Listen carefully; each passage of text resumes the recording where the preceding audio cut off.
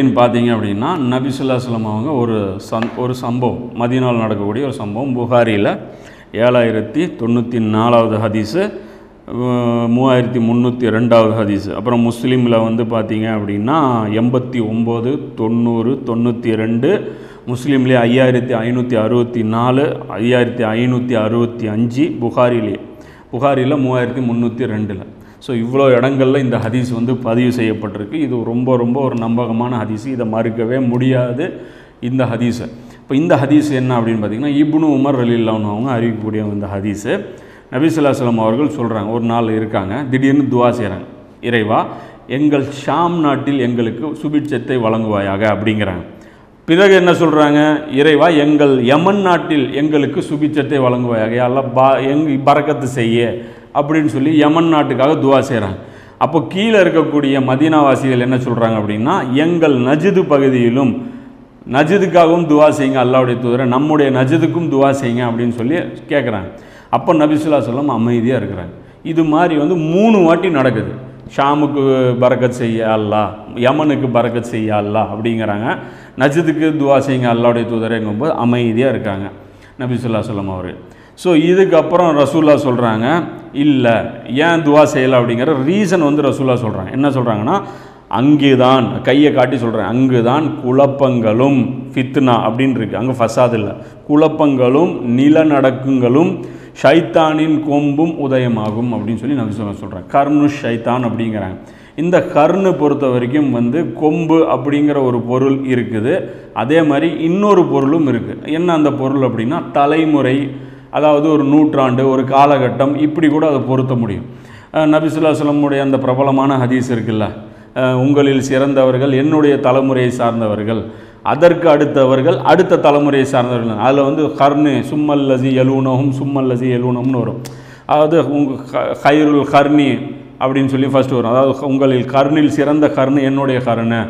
அதுக்கு அடுத்தது ரெண்டாவது கர்ணு அதுக்கு அடுத்தது மூணாவது கர்ணுங்கும்போது முஃபசின்கள் முஹதிசீன்கள் எல்லாரும் என்ன கர்னுக்கு என்ன பொருள் கொடுக்குறாங்கன்னா ஒரு முதல் தலைமுறையை சேர்ந்தவர்கள் அப்படின்னு சொல்லி அந்த தலைமுறைக்கும் நூறு ஆண்டு அப்படின்னு சொல்லி கொண்டு வராங்க. ஸோ இந்த ஒரு மீனிங் இருக்குது அதாவது கர்ணு ஷைத்தான் அங்கேருந்து தொடங்கும். ஷைத்தானுடைய காலகட்டம் அல்லது ஷைத்தானுடைய ஆட்சி முறை அல்லது ஷைத்தானுடைய தலைமுறை அங்கிருந்து தலை தூக்கும் அப்படிங்கிறாங்க. ஷைத்தானுடைய கொம்பு அப்படிங்கிறதும் அதில் மீனிங் ஆகுது. ஆனால் அது கொம்புங்கிற நேரடி அர்த்தத்தில் நம்ம பார்க்க வேண்டியதில்லை. ஏன்னா மல்டிபிள் அர்த்தம் போது ரெண்டு அர்த்தமே நம்ம பொறுத்த வந்து பார்க்கணும். அப்போ வந்து இதில் வந்து நம்ம பார்க்குறது என்ன அப்படின்னா இது என்ன பகுதி? இதை ஏன் நபிசுல்லாஸ்லாம் அப்படி குறிப்பிட்டாங்க? அப்போ நஜிது அப்படின்னு சொல்லி நபிசுல்லாசலம் குறிப்பிட்ட அந்த பகுதி எது?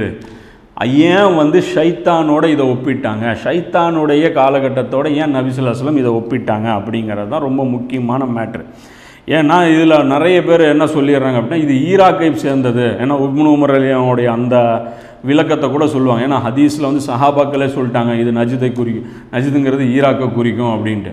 அதாவது ஒரு செயல் நடைபெறும் போது தான் மனிதர்களுக்கு வந்து அது வெளிப்படுமே தவிர முன்கூட்டியே அறிவது வந்து சஹாபாக்கள்னால கூட முடியாது. நாம் அந்த காலகட்டத்தில் இருந்தால் கூட அன்னைக்கு பூமியில் எங்கே ஃபசாது இருக்கோ அந்த ஊரை ரிலேட் பண்ணி தான் நம்ம சொல்லுவோம்.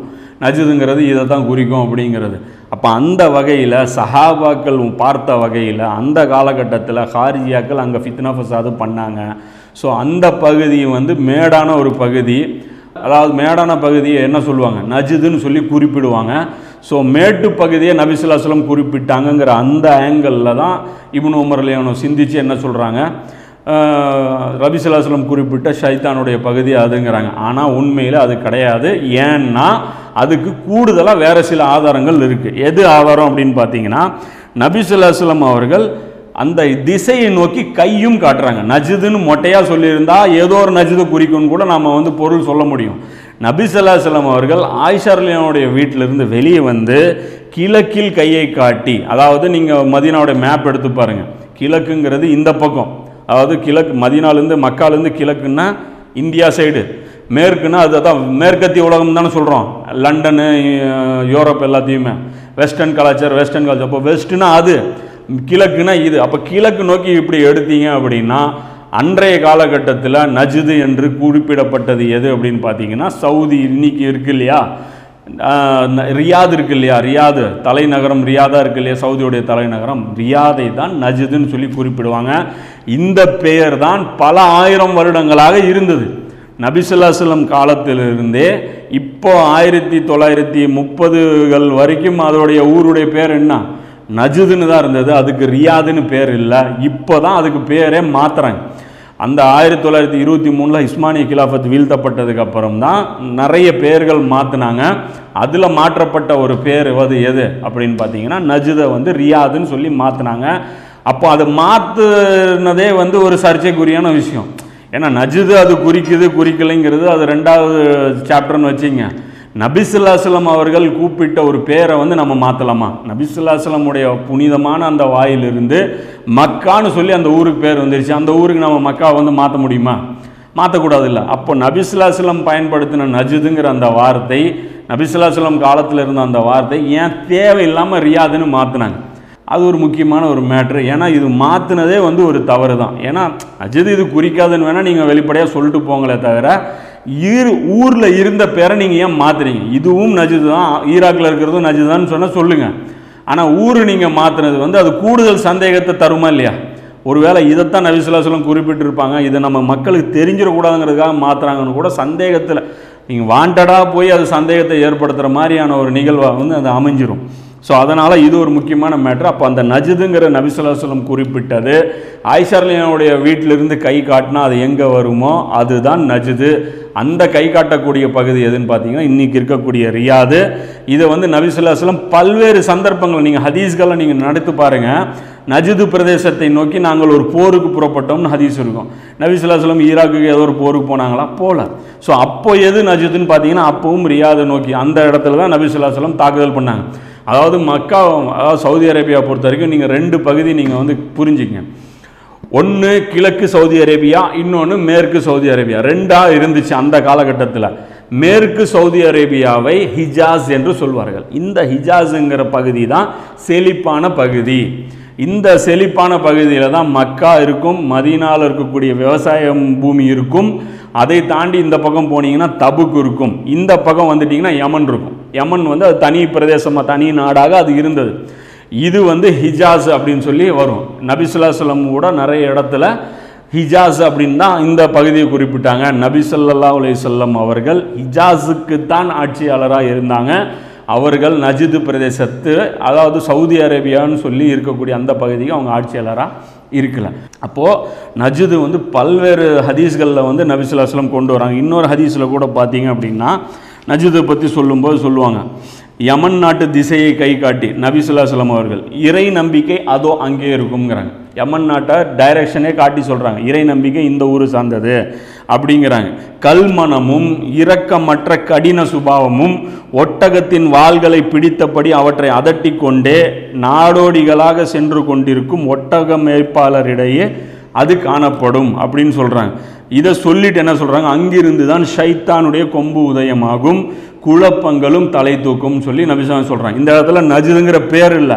ஆனால் இந்த ஷைத்தானுடைய கொம்பு குழப்பங்கள் அதாவது இந்த ஃபித்னா தலை தூக்குங்கிற அந்த ரெண்டு கூடுதல் விவரங்கள் இருக்குது எப்பயுமே ஒரு ஹதீஸை பார்க்கும்போது இதை சொன்னல ஒரு ஹதீஸுடைய டீட்டெயிலு பல ஹதீஸில் கிடைக்கும். அதோடைய எக்ஸ்ப்ளனேஷன் பல இதில் கிடைக்கும். ஸோ இந்த இடத்துல அவங்க நஜிதை பற்றி கூடுதலாக ஒரு தகவல் நபிஸ்லாம் சொல்கிறாங்க அது என்னன்னு பார்த்தீங்க அப்படின்னா ஒட்டக மெய்ப்பாளர்களாக அவங்க இருப்பாங்க அப்படிம்பாங்க. நபிசுல்லாஸ்லம் அவர்களை பொறுத்த வரைக்கும் அவர்கள் வந்து அவங்களுடைய கல்ச்சர் என்னன்னா ஒட்டகம் மேய்க்கிறது இல்லை ஆடு மேய்க்கிறது.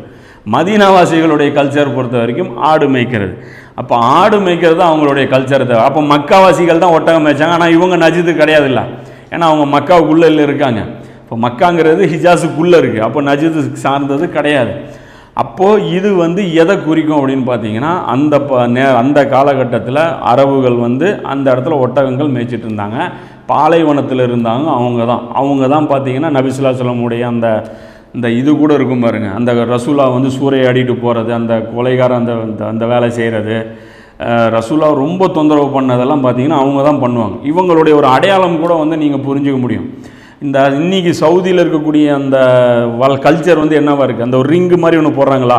ஒரு துணி போட்டு மேலே ஒரு ரிங்கு மாதிரி போடுறாங்க பாருங்கள் இந்த ரிங்கு வந்து அது ஆக்சுவலாக அது ரிங்கு கிடையாது. அதுக்கு பேர் வந்து உக்கால் அப்படிம்பாங்க. அது சவுதியில் வேலை செய்கிறவங்ககிட்டே கேளுங்க. உக்கால் அப்படிம்பாங்க. உக்கால் அப்படின்னு ஏன் சொல்கிறாங்க அப்படின்னா அது வந்து அது வந்து ஒட்டகத்தை கட்டி போடுறதுக்காக பயன்படுத்தப்படுற அது கயிறு அது. அதிலிருந்து தான் அக்குல் அப்படிங்கிற அந்த வார்த்தை வந்து கூட வந்தது. அதாவது குரானில் வந்து அக்குல் அப்படின்னு சொல்லி வரும்ல. அறிவுக்கு அக்கல் அப்படிங்கிற அந்த வார்த்தை வரும். அறிவுக்கு ஏன் அகலுங்கிற அந்த வார்த்தை பயன்படுத்தப்படுது அப்படின்னா அறிவு அப்படிங்கிறது வந்து ஒரு மனிதனை வந்து தடுத்து நிறுத்தக்கூடியது.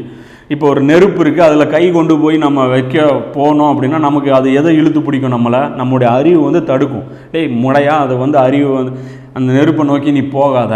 அது வந்து சுற்றும் அப்படின்னும் போது அந்த அறிவு இழுத்து பிடிக்கும். ஸோ அதற்காக அறிவுங்கிற அந்த வார்த்தைக்காகவே அந்த அக்கிலுங்கிற அந்த இது பயன்படுத்தப்படுது. அந்த அக்கிலுங்கிற அந்த சொல் எதிலிருந்து பிறந்தது அப்படின்னு எடுத்தீங்க அப்படின்னா ஒட்டகத்தை கட்டி போடக்கூடிய அந்த கயிறு தலையில் சுற்றுவாங்க அதற்கு பேர் உக்கால் அப்படிம்பாங்க. அதிலிருந்து தான் அக்கிலுங்கிற வார்த்தையே அரபி மொழியில் பிறந்தது.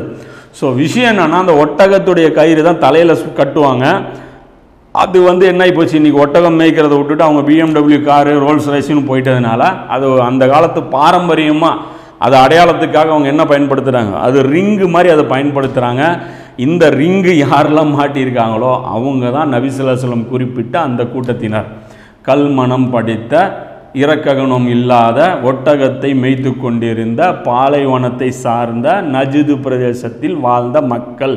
இன்றைக்கி அவர்களிடத்தில் தான் இன்னைக்கு வந்து அரபுகளுடைய அந்த சவுதியுடைய ஃபுல் நிர்வாகமும் வந்து இருக்குது இது வந்து நாம் வந்து குறை சொல்லணும் அப்படிங்கிறதுக்காகவோ அவங்கள காயப்படுத்தணுங்கிறதுக்காகவோ சொல்லலை. இருக்கிறத நம்ம சொல்கிறோம் அவ்வளோதான் விஷயம். அப்போ இதை வந்து நீங்கள் சொல்கிற விஷயங்கள் கிராஸ் வெரிஃபை நீங்கள் செக் பண்ணி பாருங்கள் அந்த அவுக்காலுங்கிறது என்ன? நபிசுல்லாசலம் குறிப்பிட்ட அந்த ஒட்டக நாடோயிகள் யார்? அவங்க தான் அங்கே சைத்தானுடைய கொம்புக்கு சொந்தக்காரர்கள். நபிசுலாம் சொல்கிறாங்க ஈராக் வாசிகள் ஒட்டகம் வச்சாங்களா ஈராக் வாசிகள் பாலைவனத்தில் ஒட்டகம் மேய்ச்சாங்க. ஈராக் பாலைவனமா என்ன? அப்போ அது வந்து அது குறிக்காது. அப்போ நஜிதை ரிலேட் பண்ணுறோன்னா நஜிதை ரொம்ப ரிலேட் பண்ண முடியும். அது நிறைய ஹதீஸ்கள் அதில் இருக்குது நபிசுல்லாஸ்லம் நஜிதுக்கு போருக்கு போனாங்கன்னு புகாரில் ஹதீஸ் இருக்குது அந்த ஹதீஸ்லாம் நீங்கள் எடுத்து பாருங்கள் எந்த பகுதியில் ரசூலாக போரிட்டாங்கன்ட்டு. அப்போ அதை வச்சு நீங்கள் பார்த்தீங்கனாலே எல்லாமே கிளியர் ஆயிரும். இதில் இன்னொரு முக்கியமான ஒரு விஷயமும் நம்ம சொல்லிக்கிறோம். அந்த ஹதீஸில் வரும்போது என்ன சொல்கிறாங்க நஜிதுங்கிறது உயரமான பிரதேசங்களை குறிக்கும்னு சொல்லி ஒரு வா- வாதம் வந்து வைக்கப்படுது. அந்த நஜிதுன்னு ரசூல்லா சொன்னது நஜிதுன்னு பேராக நீங்கள் எடுத்துக்கூடாது. அதை மீனிங்காக கன்வெர்ட் பண்ணுங்க. நஜிது அப்படிங்கிறது உயரமான பகுதி அப்படின்னு சொல்லி அதை மீனிங்காக கன்வெர்ட் பண்ணி அதை வந்து எடுத்துக்கணுமே தவிர நஜிதுன்னு டைரெக்டாக அந்த காலத்தில் இருந்த பேரை எடுக்கக்கூடாதுன்னு சொல்லி ஒரு ஆர்குமெண்ட் வைக்கப்படுது. இந்த ஆர்குமெண்ட் வந்து தவறானது. ஏன் அப்படின்னா யமன் வந்து பேராக தான் அல்ல ரசூலா சொல்கிறாங்க இந்த ஹதீஸில் வரக்கூடிய மூன்று பேர்கள் என்ன?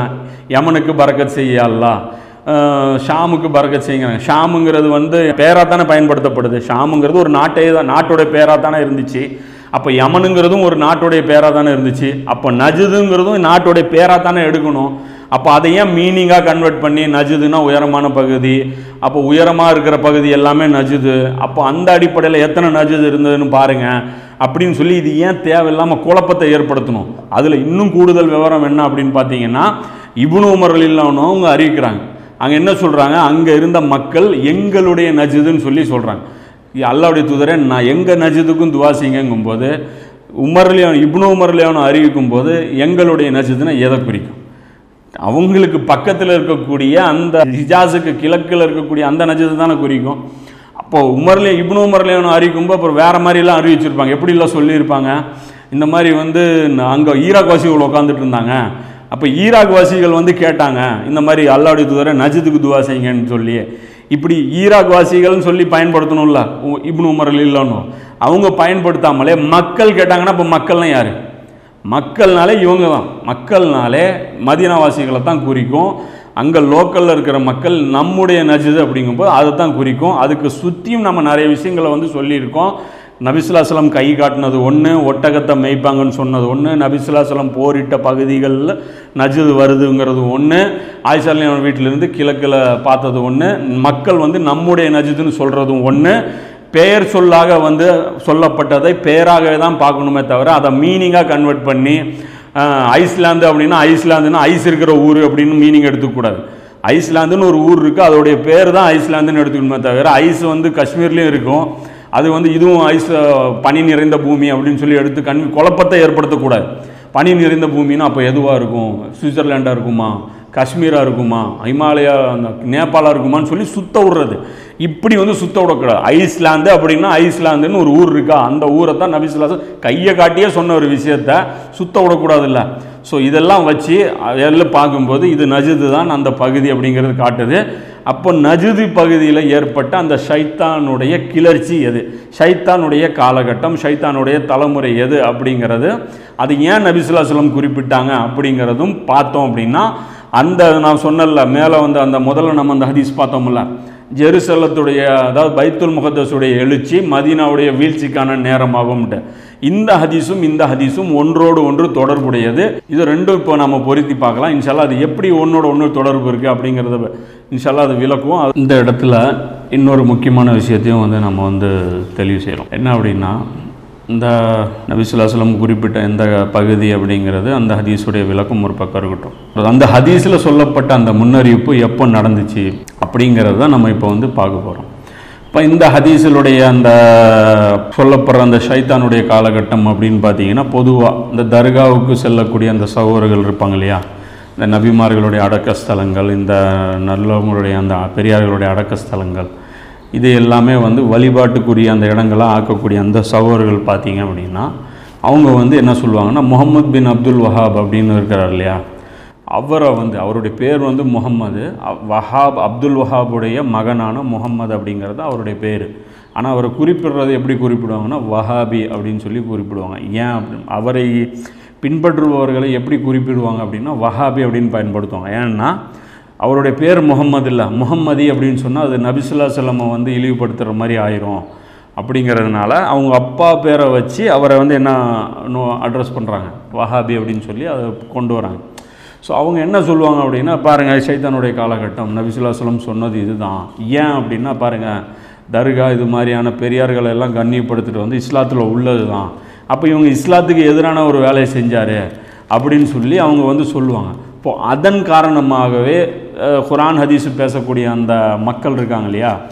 அப்போ இந்த குரான் ஹதீஸ் அடிப்படையில் இந்த தர்கா வழிபாட்டை எதிர்க்கக்கூடிய மக்கள் என்ன சொல்லுவாங்க அப்படின்னா இல்லை இல்லை இது நஜிதே இது கிடையாது. இது வந்து வேறு பகுதியை குறிக்கும் அப்படிம்பாங்க. ஆனால் உண்மை என்ன அப்படின்னு பார்த்தீங்கன்னா இவங்க சொல்கிற மாதிரி ஷைத்தானுடைய வேலை அப்படின்னு சொல்லி இந்த தர்காவை இடித்தது ஷைத்தானுடைய வேலை கிடையாதுங்கிறதும் உண்மை.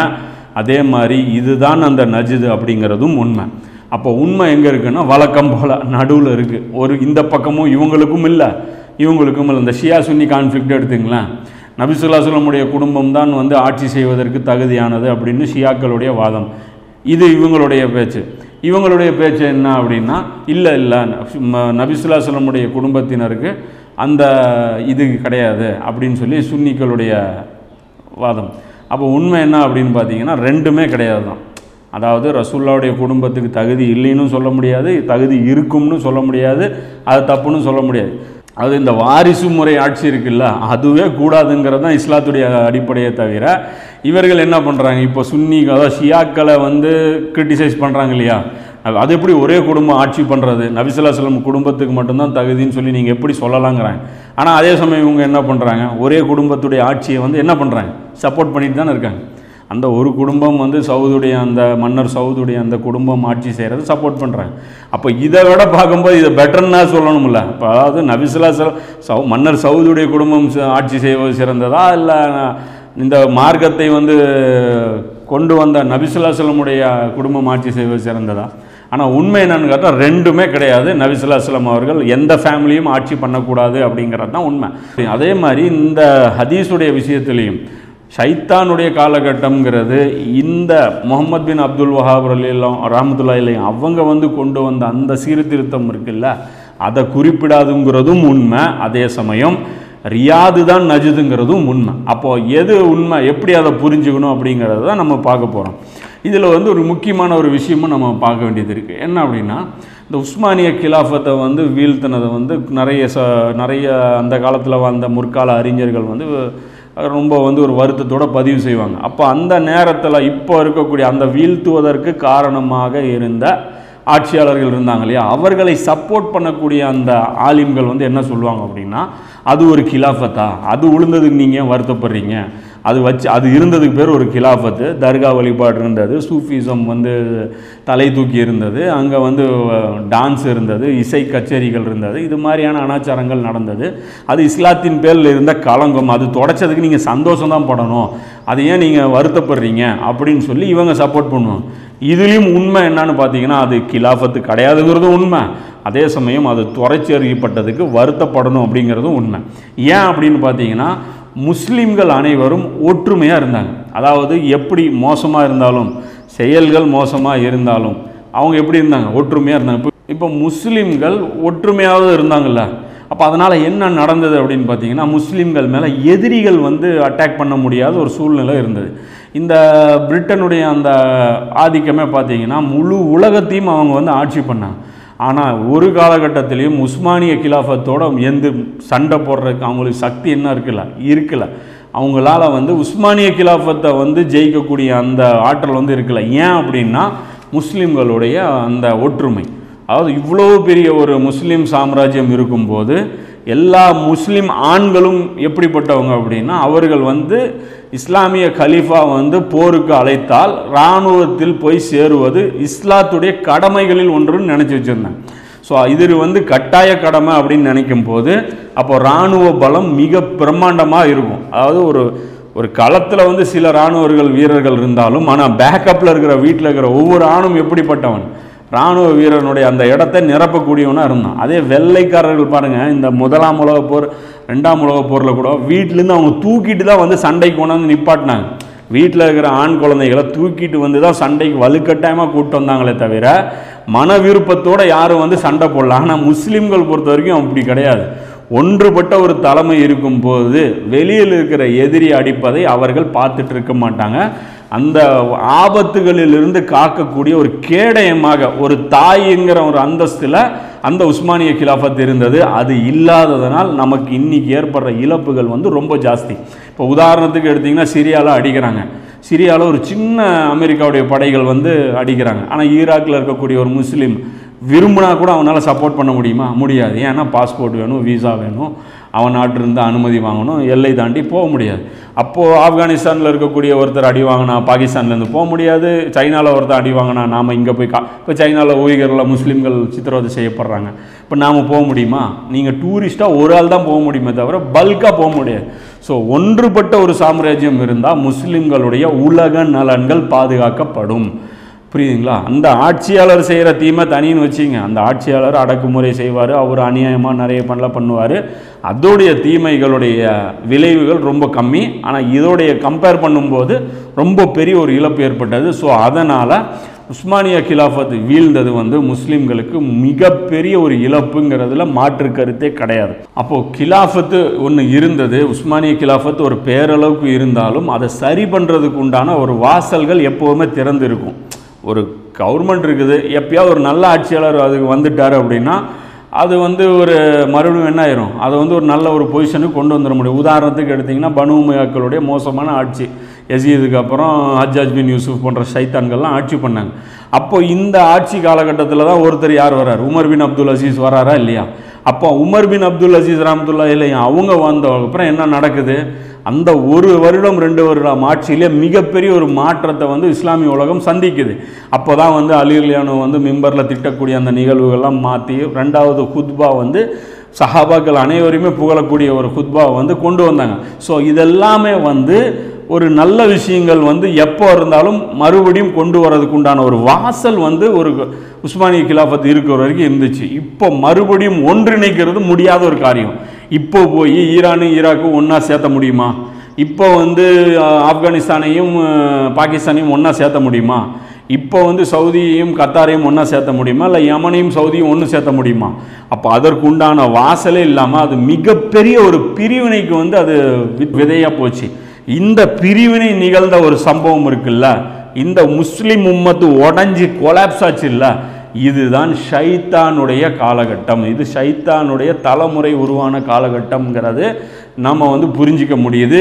இந்த மாற்றம்தான் இஸ்லாமிய உலகம் ஆயிரத்தி நானூறு வருடங்களாக பார்க்காத புது மாற்றமாக இருந்தது. ஸோ இஸ்லாமிய உலகத்தில் நடந்த மிகப்பெரிய மாற்றம்னு பார்த்தீங்கன்னா இதுதான். இதோடைய தீங்கு தான் இன்னைக்கு வந்து முஸ்லீம்களுடைய இவ்வளோ பெரிய ரத்தம் ஓட்டப்படுறதுக்கு காரணமாக இருக்குது ஸோ இதுதான் நபிசுல்லாசலம் அவங்க குறிப்பிட்ட ஷைத்தானுடைய காலகட்டம் சொல்லி இம்ரான் ஹுசேன் அவங்க விளக்கம் சொல்கிறாங்க இப்போ நாம் பார்த்த வரைக்கும் இது சரியான ஒரு விளக்கமாக படுது. ஏன்னா இந்த தீமையை தான் நபிசுல்லாசலம் அவர்கள் மிகப்பெரிய தீமையாக பார்த்தாங்கன்ட்டு. அந்த வகன் சம்பந்தப்பட்ட ஹதீஸ் கூட நபிசுல்லாம் சொல்கிறாங்கல்ல உணவு தட்டை நோக்கி மக்கள் வந்து அழைக்கிற மாதிரி ஒரு காலகட்டம் வரும். உங்களை வந்து சாப்பிட்றதுக்கு எல்லாருமே வருவாங்க அப்படின்ட்டு. அப்போ நபிசுல்லாசலம் கிட்ட சகாபாக்கள் கேட்குறாங்க அல்லாவுடைய தூதரே அந்த காலகட்டம்ல வந்து நாம் வந்து மைனாரிட்டியாக இருப்போமா அப்படின்னா அப்போ ரசூலா சொல்கிறாங்க வால்யூம் பெருசாக தான் இருக்கும். ஆனால் உங்களுக்கு வந்து வகன் ஏற்பட்டு விடும் அப்படின்னு நபிசுல்லாம் சொல்கிறாங்க அப்போது இன்னைக்கு வந்து இருக்கக்கூடிய எல்லா ஆலிம்களும் என்ன ஒத்துக்கிறாங்க? இந்த ஹதீஸுடைய காலகட்டம் இதுதான் ஒத்துக்கிறாங்க. இப்போ நமக்கு வந்து எதிராக எதிரிகள் வந்து திரள்றாங்க. பயம் இல்லாமல் திரள்றாங்க. ஒரு சாப்பிட்றதுக்கு எப்படி நம்ம மேலே அட்டாக் வருவாங்களோ பாஞ்சிட்டு வருவாங்களோ அது மாதிரி வர்றாங்கங்கிறாங்க இப்போ இந்த நிலை ஏற்பட்டதுக்கு காரணம் என்ன? வகனுங்கிறது ஒரு காரணம். அந்த வகனுக்கு காரணம் என்னன்னு பார்த்தீங்கன்னா முஸ்லீம் வால்யூமாக இருக்கும். ஆனால் பவுண்ட்ரிஸுக்குள்ளே அடைஞ்சிருக்கும். இந்தியா முஸ்லீம் இந்தியாவில் மட்டும்தான் இருக்க முடியும். வெளியே எங்கேயும் போய் பக்கத்தில் இருக்கிற தன்னுடைய சகோதரனுக்கு உதவி செய்ய முடியாது. முஸ் பாகிஸ்தானுடைய முஸ்லீம் வேறு எங்கேயும் போய் உதவி செய்ய முடியாது. ரஷ்யாவில் இருக்கிற முஸ்லீம் வேறு எங்கேயும் போய் உதவி செய்ய முடியாது. அப்போ இந்த கட்டங்களாக பிரித்து அந்த கூண்டுகளுக்குள் நாம் அடைக்கப்பட்டோம்ல இந்த நிகழ்வு தான் உஸ்மானிய கிலாஃபத் வீழ்ந்த ஒரு நிகழ்வு. அதற்கப்புறம் தான் உஸ்மானிய கிலாஃபத்தை துண்டு துண்டாக பண்ணி ஈரானு தனி ஈராக்கு தனி எகிப்து தனி ஆப்கானிஸ்தான் தனி இப்படி வந்து பிரித்து பிரித்து பண்ணாங்க. இன்னைக்கு இப்போ பார்த்தீங்கன்னா எந்த நாட்டுக்கு போர் வந்தாலும் ஈஸியாக வந்து யார் ஜெயிக்கிறா? எதிரிகள் ஜெயிச்சிடுறாங்க. ஆப்கானிஸ்தான் போனாங்க அடித்து துவம்சம் பண்ணாங்க. நம்மளால் ஒன்றும் பண்ண முடியல. ஏன் அப்படின்னா இவர்களுடைய டெக்னாலஜிக்கு முன்னாடி இந்த சின்ன கூட்டத்தினால தாக்கு பிடிக்க முடியல. ஈராக்குக்கு போகிறாங்க அமெரிக்கா அடிக்குது. ஒன்றும் முஸ்லீம்களால் பண்ண முடியல. ஏன்னா அமெரிக்காவுடைய ஹை டெக்னாலஜி வெப்பன்ஸ்க்கு எதிராக சின்ன ஈராக்கி கூட்டம் தாக்கு முடிக்க முடியல. ஒரு உம்மத்தான் ஒருங்கிணைச்சு இருக்கும்போது நாம் என்ன பண்ண முடியும்? அவர்களை எதிர்த்து நம்மளால் ஜெயிக்க முடியும். அப்படி ஒரு வாசல் இருந்தது. ஆனால் அதுக்கு இல்லாமல் போனதுனால என்ன ஆகிப்போச்சு இன்னைக்கு வந்து இந்த வகனுக்கு உண்டான அந்த எலிஜிபிலிட்டியில் நம்ம வந்துட்டோம். சின்ன கூட்டம் பயப்படுது. சின்ன முஸ்லீம்களுடைய கூட்டம் உயிர் பயம் வந்து அவங்க பயப்படுறாங்க. அதனால் மோதுறதுக்கு யாரும் ரிஸ்க் எடுக்கிறதுக்கு தயார் இல்லை ஸோ இதுவும் பார்த்தீங்க அப்படின்னா இதை வச்சும் பார்க்கும்போது இந்த ஹதீஸோடைய மீனிங் இதுவாக இருக்கிறதுக்கு வாய்ப்பு இருக்குது அப்படிங்கிறது தான் புரியுது. மாற்று கருத்து இருக்கிறவங்களுக்கு இருக்கலாம். அதில் வந்து நம்ம ஒன்றும் யாரையுமே அப்ஜெக்ஷன் பண்ண முடியாது. ஏன்னா எல்லாருக்கும் வந்து குரான் ஹதீஸில் வந்து கருத்து சொல்கிறதுக்கு உரிமை இருக்குது எனக்கு ஒரு கருத்து இருக்கும்போது உங்களுக்கு ஒரு கருத்து இருக்கிறதுல நியாயம் இருக்குது அது உங்கள் கருத்தை நீங்களும் வந்து உங்கள் நீங்கள் வந்து எடுத்து சொல்லலாம். அது வந்து இப்போ அது வந்து நாம் வந்து அதை வந்து தடுக்க முடியாது. இதுதான் கருத்துன்னு ஃபைனல் வந்து யாருமே பண்ண முடியாதுங்கிறது தான் உண்மை. சரி இப்போ இந்த உஸ்மானிய கிலாஃபத் வீழ்ந்ததை பற்றி ஒரு சிம்பிளாக ஒரு ஒரு கிளான்ஸ் வந்து அப்படியே பார்த்துடலாம். ஆயிரத்தி எழுநூற்றி நாற்பத்தி நாலில் முகமது பின் அப்துல் வஹாப் ரஹமத்துல்லா அலை இவங்க வந்து என்ன பண்ணுறாங்க அப்படின்னா அந்த காலகட்டத்தில் ஒரு தாவா வந்து இவங்க செஞ்சிட்ருக்கிறாங்க அதாவது உஸ்மானிய கிலாஃபத்துக்கு கீழே இருந்த அந்த பகுதியில் ஹிஜாஸில் இருந்த தீமைகளை எதிர்த்து இந்த அனாச்சாரங்கள் பீதத்துகள் இதையெல்லாம் எதிர்த்து தாவா வந்து பிரச்சாரம் செய்கிறாங்க ஸோ மக்களுக்கு வந்து எதிராக அதாவது இந்த தீமைகளுக்கு எதிராக தாவா செஞ்சால் என்ன கிடைக்கும்? அடி உத இந்த மாதிரியான அந்த ஒரு இது கிடைக்கும். அது தாவாவுக்கு வந்து அடைக்கலம் வந்து கொடுக்க மாட்டாங்க. ஸோ அந்த நேரத்தில் வந்து ஒரு மன்னர் அந்த பகுதியில் இருந்த ஒரு ஆட்சியாளர் அவர் யார் அப்படின்னா முகமது பின் சவுது. இவர் வந்து என்ன பண்ணுறாரு அப்படின்னா இவர் வந்து இவருக்கு அடைக்கலம் கொடுத்து உங்களுடைய தாவாவுக்கு நான் சப்போர்ட் பண்ணுறேன் நாம் வந்து அடைக்கலம் கொடுக்குறேன்னு அவர் கீழே வர்றாரு. அப்போ இவர்களுடைய ஒரு கூட்டணி வந்து ஏற்படுது. இந்த கூட்டணி தான் வந்து சவுதி வஹாபி கூட்டணி அப்படின்னு சொல்லி சொல்லுவாங்க. இப்போ இந்த கூட்டணி பொறுத்த வரைக்கும் அந்த கர்ணு ஷைத்தானுடைய அந்த வேலையை வந்து இவங்க செய்யலை. உஸ்மானிய கிலாஃபத்தை வந்து இவங்க உடைக்கிற அந்த பணி வந்து இவங்க செய்யலை. இவர்கள் அந்த பாவத்தில் இவங்களுக்கு பங்கு கிடையாதுங்கிறத நம்ம சொல்லிக்கிறோம். ஏன்னா வஹாபி அதாவது இந்த மாதிரி கூட்டணி செஞ்சாங்கன்னு உடனே முகமது பின் அப்துல் வஹாப் கெட்டவரான்னு சொல்லி போயிடக்கூடாது. ஏன்னா நம்ம மதுஹபுகளில் இருக்கக்கூடிய பிரச்சனைகள் எடுத்து சொல்லும்போது என்ன பண்ணிடுறாங்க? அபு ஹனிஃபா கெட்டவரான்னு சொல்லி போயிடுவாங்க. அபு ஹனிஃபா ராமத்துல நீங்கள் திட்டுறீங்கம்பாங்க. அதே மாதிரி வந்து அவுளியாக்கள் இடத்துல போய் நீங்கள் துவா கேட்கக்கூடாது அப்படின்னு சொல்லும்போது என்ன சொல்லுவாங்க? அவுளியாக்களை திட்டுறாங்கம்பாங்க. மௌலூது சம்பந்தமாக விமர்சனம் வைக்கும் போது என்ன சொல்லுவாங்க? நபிசுல்லா சிலம புகழக்கூடாதுங்கிறாங்கம்பாங்க. ஸோ இது மாதிரி பிளேட்டை மாற்றி விடுற அந்த வேலையை வந்து செய்யாதீங்க. நாம் யாரை குறிப்பிடுறோங்கிறத நீங்கள் வந்து தெளிவாக பண்ணுங்கள் அதாவது நாம் சொல்கிறது என்ன அப்படின்னா இவங்களை குறிக்காது. முகமது பின் அப்துல் வஹாப் ரஹமத்துல்லா இருக்காங்களா அவங்க தௌஹீதை போதிக்க வந்தாங்க. அவங்க தௌஹீதை போதிச்சாங்கங்கிறதுல மாற்று கருத்து இல்லை. அவங்க செய்யப்பட வேண்டிய வேலை அது நல்ல வேலைங்கிறதுல மாற்று கருத்து இல்லை. தர்கா வழிபாடுகள் இது மாதிரியான அனாச்சாரங்கள்ல இருந்து முஸ்லீம்களுக்கு விழிப்புணர்வு ஏற்படுத்துகிற அந்த நல்ல வேலையை அவங்க செஞ்சாங்க. அப்போ இவர் வந்து இவங்க ரெண்டு பேர் கொண்ட ஒரு கூட்டணி வந்து ஆட்சிக்கு வந்து வருது. இந்த காலகட்டம் ஸ்மூத்தாக போகுது. இதில் எந்த ஒரு இதுவும் இல்லை. இப்போ இன்னைக்கு இந்த சவுதி கவர்மெண்ட் இருக்கு இல்லையா? இதுக்கு வந்து என்ன சொல்கிறாங்கன்னா மூன்றாவது சவுதி அரசாங்கம்னு தான் சொல்லுவாங்க. அதாவது முதல் சவுதி அரசாங்கம் ரெண்டாவது சவுதி அரசாங்கம் மூன்றாவது சவுதி அரசாங்கம். நல்லா கவனிங்க. முதல் சவுதி அரசாங்கம்ங்கிற காலகட்டம் வந்து இது தோற்றுவித்தவர் யார் அப்படின்னு பார்த்தீங்கன்னா முகமது பின் அப்துல் வஹாபும் மன்னர் சவுதுடைய அந்த முகமது பின் சவுத் அவங்களையும் இவங்களும் மன்னராட்சி முறையை தான் அவங்களும் கொண்டு வந்தாங்க. ஆனாலும் கிலாஃபத்தை அவங்க டிக்ளேர் பண்ணலை. ஏன்னா கலீஃபா அவங்களே இருந்துட்டு போகிறாங்க இந்த பகுதிக்கு நாம் ஆட்சியாளர்னாங்க அந்த மாதிரி தான் அவங்க இருந்துட்டு போனாங்க. இப்போ இவங்க என்னன்னா உஸ்மானிய கிலாஃபத்துக்கு கீழேயே தனியாக இயங்கிட்டு இருந்த ஒரு கூட்டம் இவங்க. ஏன்னா இந்த கொள்கை பிரச்சனை இருந்ததுனால இவங்க என்ன பண்ணாங்க? அந்த கிலாஃபத்துக்கு கீழே இவங்க வரல. இந்த ஆட்சி இவங்க அமைச்சாங்க இல்லையா? அந்த ஆட்சிக்கு வந்து ஒரு அந்த அந்த நாட்டுக்கு வந்து ஒரு பேர் இருந்தது. அது என்ன பேருன்னு பார்த்தீங்கன்னா அந்த நாட்டோட பேர் எமிரேட்ஸ் ஆஃப் திரியா அப்படிம்பாங்க. திரியாவுடைய அரசாங்கம். திரியா அப்படிங்கிற அந்த பகுதியுடைய அரசாங்கம் அப்போ திரியாங்கிற அந்த ஊரை மையமாக வச்சு பண்ணாங்க. அதுவும் எதுக்குள்ளே வருதுன்னா நஜதுக்குள்ளே தான் வந்தாலும் ஆனால் அது டைரெக்டாக நஜிதை குறிக்காது. ஏன்னா நஜிதுங்கிறது ஹார்ட் சரியான ஒரு அது நஜிதுங்கிறது எக்ஸாக்டாக அது ரியாதை குறிக்கும். அப்போ ரியாத் தான் அதோடைய தலைநகரமாக இருந்துச்சு. ஆனால் இவங்க திரியாவை மையமாக வச்சு அந்த எமிரேட்ஸ் ஆஃப் திரியா அப்படிங்கிற அந்த ஆட்சி வந்து செஞ்சாங்க. இந்த ஆட்சி வந்து பார்த்திங்கன்னா அதுவே முடிஞ்சிருச்சு. எப்போ முடிஞ்சிருச்சுன்னா ஆயிரத்தி எழுநூற்றி நாற்பத்தி நாலுலேருந்து ஆயிரத்தி எட்நூற்றி பதினெட்டில் வந்து இந்த கூட்டணி ஆட்சி வந்து முடியுது. இது ஏன் முடியுது அப்படின்னு பார்த்தீங்கன்னா இந்த பெரியவங்க ரெண்டு பேரும் ஆட்சி பண்ணாங்கல்ல முகமது பின் அப்துல் வஹாபும் முகமது பின் சவுதும். இவங்க ரெண்டு பேரும் வந்து அவங்களுடைய பகுதியில் மட்டும்தான் சீர்திருத்தம் பண்ணாங்களே தவிர உஸ்மானிய கிலாஃபத்து கையில் இருந்த பிரதேசங்களில் போய் அங்கே போய் அவங்க சண்டை போடல போர் தொடுக்கல. அதிலும் குறிப்பாக மக்கா மதீனா ஹரமுடைய பு- ஹரமைன்களுடைய நிர்வாகம் இருக்குல்ல அதை கைப்பற்றுவதற்கு இவர்கள் முயற்சி எடுக்கல. ஆனால் பின்னாடி இருந்த தலைமுறையினர் என்ன பண்ணுறாங்க அப்படின்னா அவங்க வந்து இதை வந்து ஒரு சீர்திருத்தமாக பார்க்கல. தங்களுக்கு கிடைச்ச ஒரு ஆட்சியுடைய பதவி சொத்தாக வந்து இவங்க பார்த்தாங்க. இவங்க என்ன பண்ணுறாங்க அப்படின்னா அவங்களுடைய எல்லையை விரிவுபடுத்திக்கணும். இன்னும் ஹரமுடைய நிர்வாகம் கையில் கிடச்சா அதில் செல்வம் பெருகும். அப்படிங்கிறதுக்காக என்ன பண்ணுறாங்க ஹரம் மேலேயே அட்டாக் பண்ணி மக்கா மதீனா மேலேயே என்ன பண்ணுறாங்க அட்டாக் பண்ணிடுறாங்க. முதல்ல தாயிஃபை கைப்பற்றுறாங்க. தாயிஃப் வந்து ஒரு நூறு கிலோமீட்டர் பக்கத்தில் இருக்குல்ல? தாயிஃபை கைப்பற்றுறாங்க மக்காவுக்கு. அதுக்கப்புறம் மக்காவை கைப்பற்றுறாங்க. அதுக்கப்புறம் மதீனாவும் கைப்பற்றுறாங்க. இது வந்து ஆயிரத்தி எட்நூற்றி மூணில் இந்த பெரியவங்களுடைய அந்த மர மரணத்திற்கு அப்புறம் வர்ற அவர்களுடைய வாரிசுகள் தான் இந்த வேலையை செய்கிறாங்க ஸோ இந்த செயலை தான் நம்ம வந்து கண்டிக்கிறோம். ஏன்னா ஹரம் மேலே அட்டாக் பண்ணலாமா கூட? ஒரு முஸ்லீமுக்கு பேசிக்காக தெரியுமா இல்லையா? இப்போ ஹரம் மேலே அட்டாக் பண்ணால் அங்கே யார்? அங்கே முஸ்லீம் ஆட்சியாளர் கண்ட்ரோலில் ஹரம் இருக்குது ஹரம் மேலே படையெடுத்து நீங்கள் தாக்குதல் பண்ணலாமா? நபிசுல்லாஸ்லம் அவர்களுக்கே ஒரு நாளுடைய சிறிது நேரம் தான் போரிடுவதற்கு எல்லாம் அனுமதி கொடுத்துருக்கான். அதனால தான் எல்லாம் தடுக்கிறானும் கூட. ஏன்னா அந்த ஏன்னா அது ஹரமுடைய கான்செப்ட் வந்து சாதாரண விஷயம் கிடையாது. அது வந்து உம்மத்துடைய ஒற்றுமையுடைய ஒரு அடையாளம் அது. அப்போது இதை வந்து என்ன பண்ணுறாங்க அப்படின்னா அவங்க ரசூல்லாவே அதை தடுத்து வச்சுருக்காங்க. அல்லாவே எனக்கே அனுமதி கொடுக்கல ஒரு நாள் தான் பர்மிஷன் கொடுத்தான். ஹரம்லகி சண்டை போட்டுறாதீங்கன்னாங்க ஆனால் ஹரமில் போய் தாக்குதல் எடுத்து முஸ்லீம்களை கொள்கிறாங்க அப்போ முஸ்லீம்களை கொல்லும்போது அப்போ இருந்த அந்த முகமது பின் அப்துல் வஹாபுடைய ரெண்டாவது மூணாவது வாரிசுகள் வந்துடுறாங்க.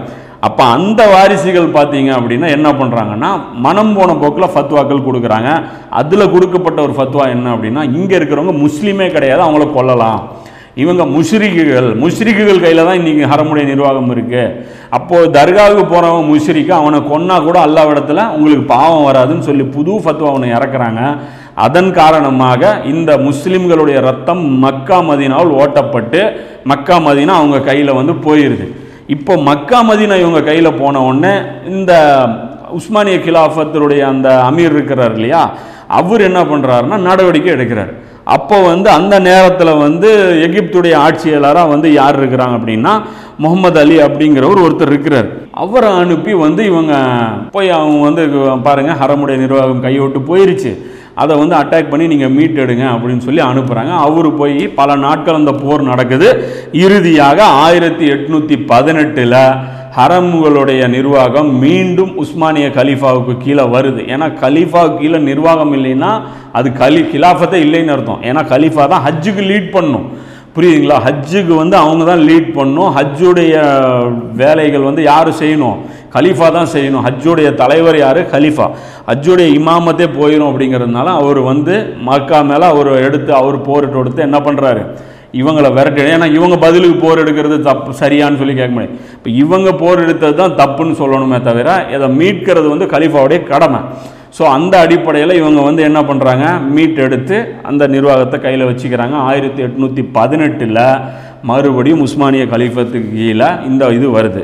இப்போ இந்த காலகட்டத்தில் தான் பிரிட்டன்கள் பிரிட்டிஷில் இருந்து இந்த அதாவது அந்த கு- அந்த வெள்ளையர்கள் அந்த சிலுவை வீரர்கள் எல்லாம் போய் அவங்க வேறு டைரக்ஷனில் அவங்க வேறு உருவத்தில் அவங்க மாறிட்டாங்க.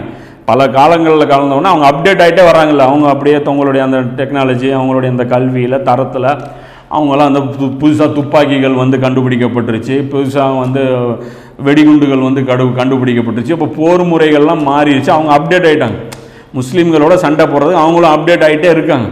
அப்போ இவங்க வந்து பார்க்குறாங்க ஓ இந்த இடத்துல ஒரு கூட்டம் வந்து இருக்குது தோற்கடிக்கப்படுதல் இந்த கூட்டணி. அதாவது முகமது பின் அப்துல் வஹாபுடைய அந்த குடும்பமும் சவுது பின் முகமது பின் சவுதுடைய அந்த சவுது குடும்பமும் அந்த வஹாபி குடும்பமும் என்ன ஆகுது? இந்த கூட்டம் வந்து பார்த்திங்கன்னா அந்த பாலைவனத்திலேயே வந்து அவங்க போய் மறைஞ்சிக்கிறாங்க. அதாவது அவங்க பே பின்னாடி பின்னாடி அதாவது பின்ன பின்வாங்கி பின்வாங்கி என்ன போயிடுறாங்க?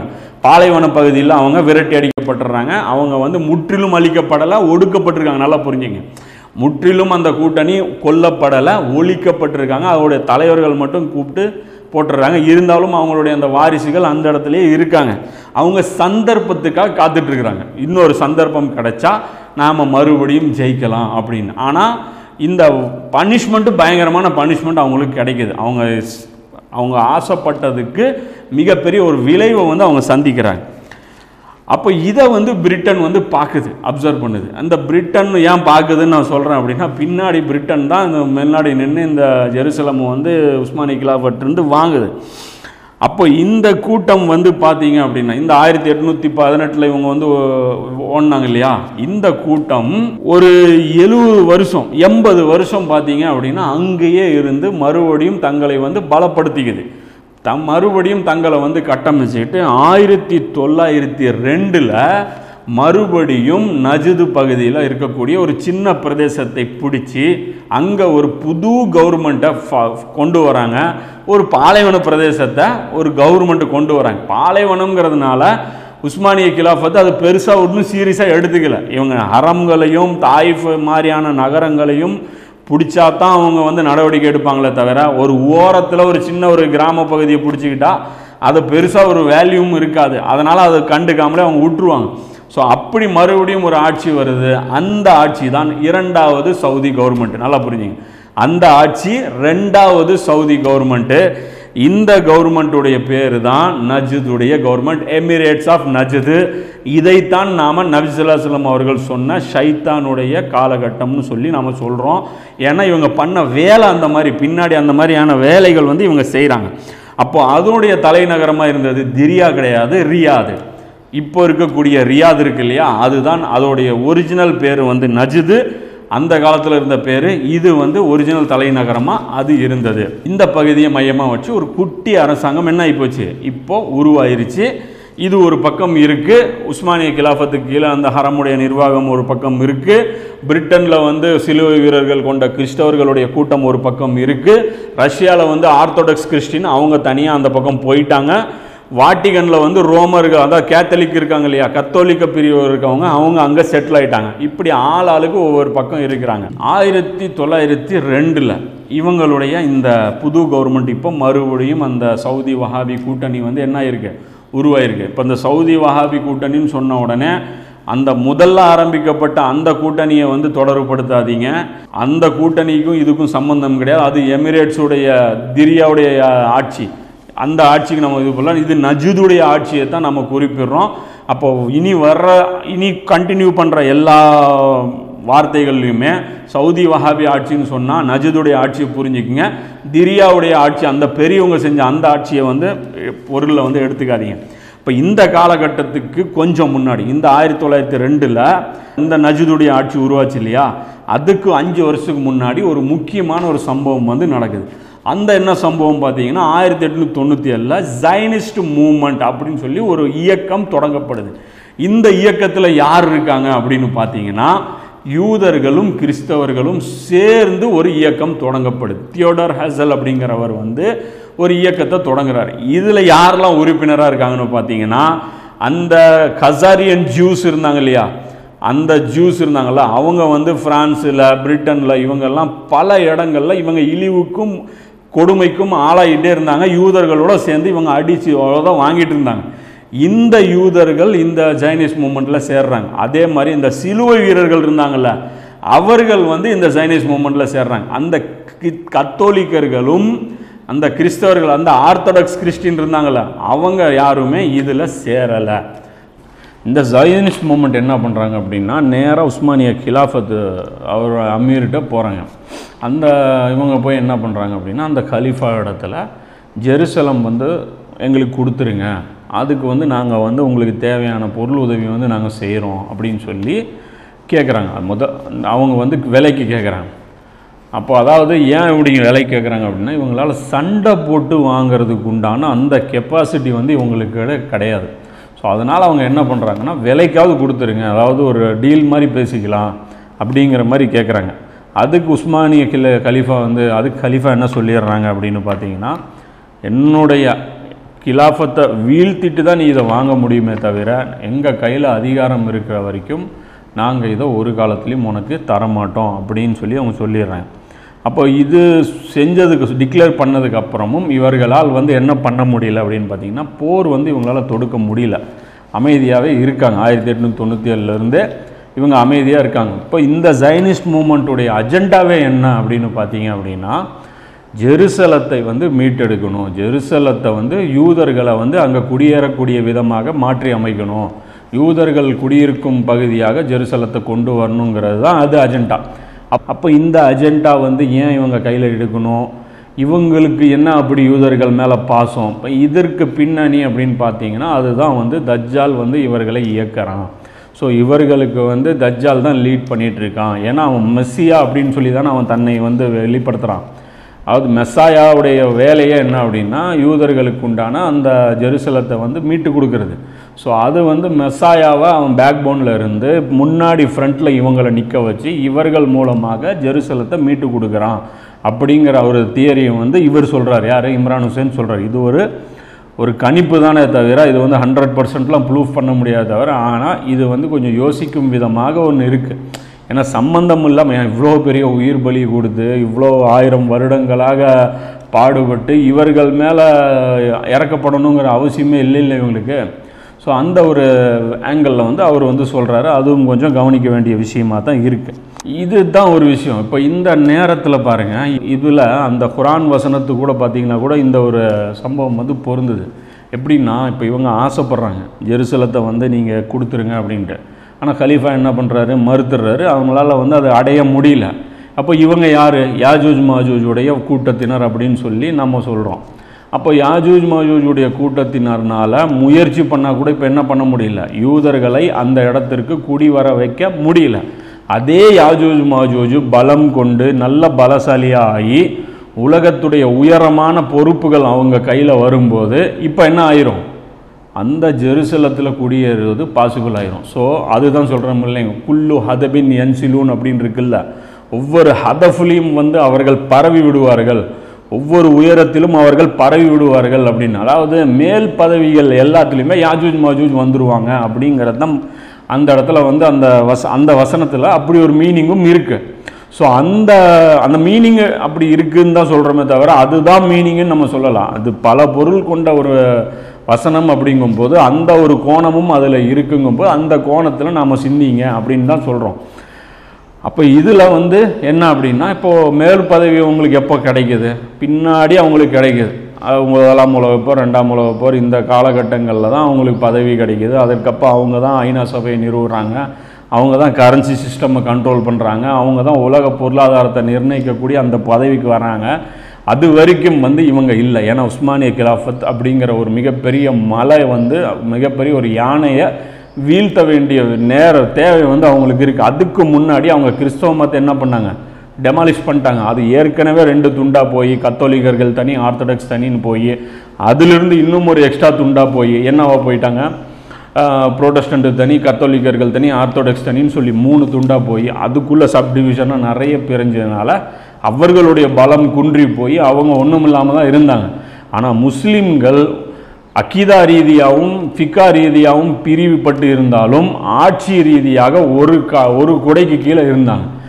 இந்த ஒரு ஒற்றுமையை அவங்களுக்கு மிகப்பெரிய தலைவலியாக இருந்தது. அவர்களால் ஒன்றும் பண்ண முடியாமல் இருந்தது. ஸோ இந்த நேரத்தில் அவங்க பலவிதமான சூழ்ச்சிகளை வந்து கொள்கிறாங்க அப்போது இந்த நேரத்தில் ஒரு அவங்களுக்கு கிடைச்ச ஒரு வரப்பிரசாதமாக அவங்க எதை பார்க்குறாங்க அப்படின்னு பார்த்தீங்கன்னா இந்த சவுதி வஹாபி கூட்டணி வந்து இந்த ஆயிரத்தி தொள்ளாயிரத்தி ரெண்டில் மறுபடியும் அந்த நஜிது பிரதேசத்துடைய ஆட்சியை வந்து அவங்க உருவாக்குனாங்கல்ல இதை வந்து ஒரு மிகப்பெரிய ஒரு ஒரு ஸ்ட்ராட்டஜிக்கல் வியூவிலேருந்து அவங்க பார்க்குறாங்க. என்ன அவங்களுக்கு தெரியுது அப்படின்னு பார்த்தீங்கன்னா ஏற்கனவே இவங்க பல வாட்டி வந்து இதுக்கு முன்னாடி வந்து ஹரமைன்கள் மேலேயும் தாயிஃப் மேலேயும் தாக்குதல் தொடுத்து அந்த ஊர்களை வந்து பிடிச்சிருக்காங்க.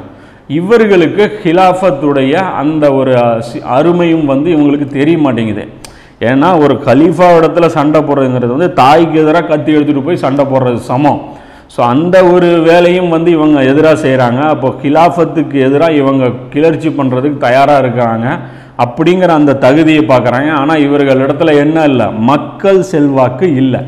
ஏன் அப்படின்னா இவர்களிடத்துல கடும்போக்கு சிந்தனை. இன்றைக்கும் பாருங்கள் பொதுவாக வந்து இந்த வஹாபிசம் இந்த கான்செப்ட் வஹாபிசத்துடைய அந்த சித்தாந்தம் இருக்கு இல்லையா? அவங்க ரொம்ப கடுமையாக நடந்துக்கிறதுனால பெரும்பான்மை முஸ்லீம்கள் இடத்துல பார்த்தீங்கன்னா இவர்களுக்கு வந்து ஒரு அங்கீகாரம்லாம் வந்து இருக்கிறதில்ல. அது வந்து பயங்கரமான ஒரு அது ஒரு நல்ல ரொம்ப ஒரு அதிருப்தியான ஒரு சூழ்நிலை தான் வந்து இப்போ நம்ம இந்தியாவில் இங்கேயே பார்க்குறோம்ல எல்லா இடத்துலையுமே அவங்களுக்கு வந்து ஒரு அதிருப்தியான ஒரு சூழ்நிலையில் தான் இருக்கும்.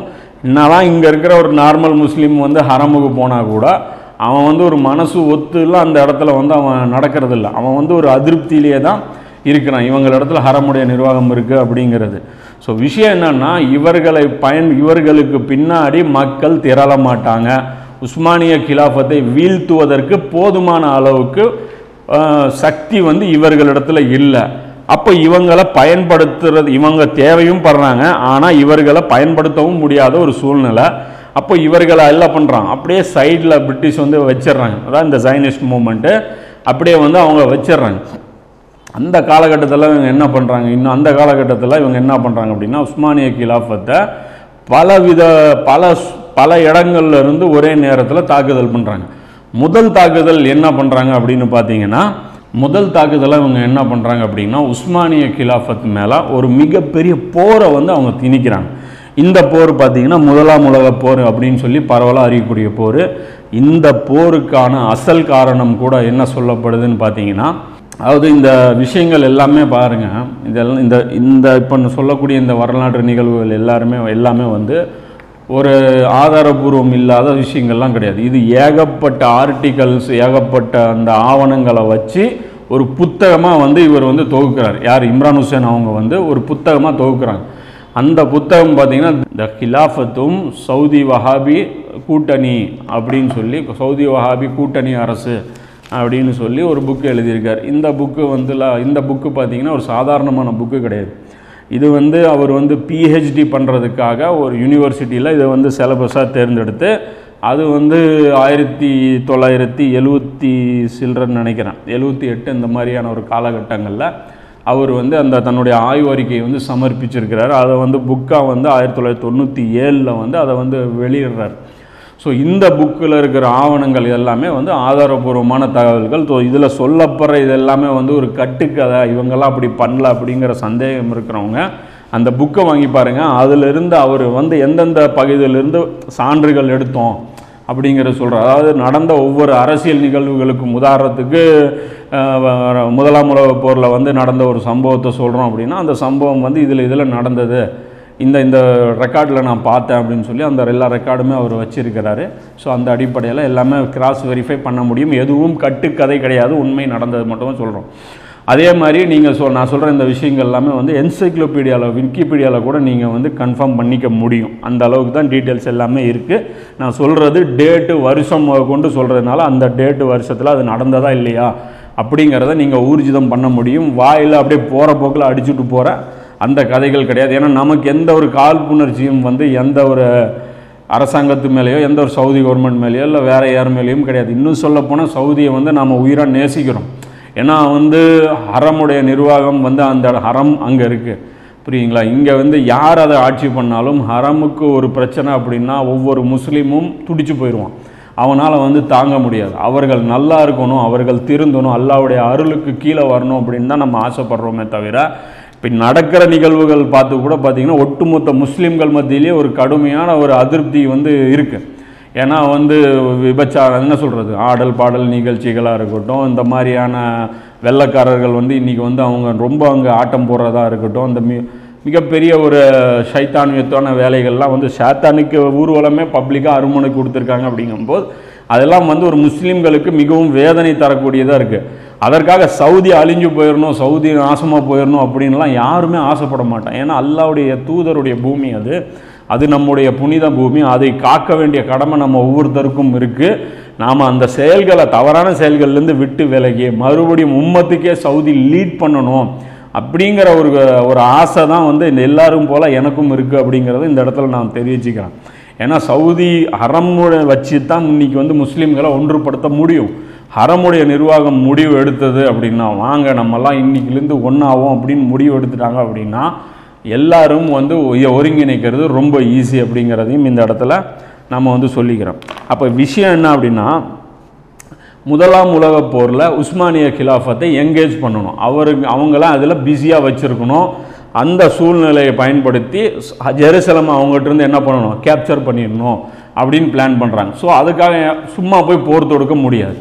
காரணமே இல்லாமல் போய் அங்கே போர் தொடுக்க முடியாது. ஏன்னா உஸ்மானிய கிலாஃபத்துக்கு நட்பு நாடுகள் இருந்தது.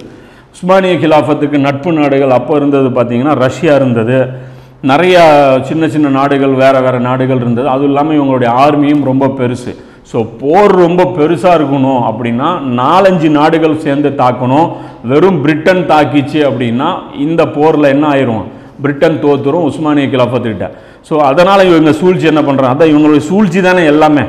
இந்த நைன் லெவனே எடுத்தீங்கன்னா ஒரு சூழ்ச்சி பண்ணி தான் ஆப்கானிஸ்தானை வந்து தாக்குறாங்க. ஒரு காரணம் இல்லாமல் ஆப்கானிஸ்தானில் இஸ்லாமிய ஆட்சி வந்துருச்சு. எங்களுக்கு இவங்க இருக்கிறது பிடிக்கல. அதனால் இவங்களை நாங்கள் நீக்க போகிறோம் அப்படின்னா உலகம் வந்து ஒத்துக்காது. அதற்கு பதிலாக வந்து ஒரு மிகப்பெரிய ஒரு சம்பவம் நடக்கணும். அப்போ தான் ம மக்கள் எல்லாருமே வந்து அவர்களை அடித்து கொள்றதை வந்து நியாயப்படுத்தி அதை சப்போர்ட் பண்ணணும். அதே மாதிரி தான் சதாம் ஹுசேன் விவகாரத்துலையும் என்ன பண்ணாங்க? சதாம் ஹுசேன் வந்து எங்களுக்கு பிடிக்கல எங்களுக்கு வந்து பிஸ்னஸ் டீலிங் ஒத்துக்க மாட்டேங்கிறாரு. அப்படி சொல்லி அவரை கொல்ல முடியும்? கொல்ல முடியாது. மிகப்பெரிய ஒரு மாஸ் வெப்பன் வச்சுருக்கிறாரு. உலக மனித குலத்திற்கே தீங்கிழைக்கக்கூடிய ரசாயன ஆயுதங்கள் வச்சுருக்காரு.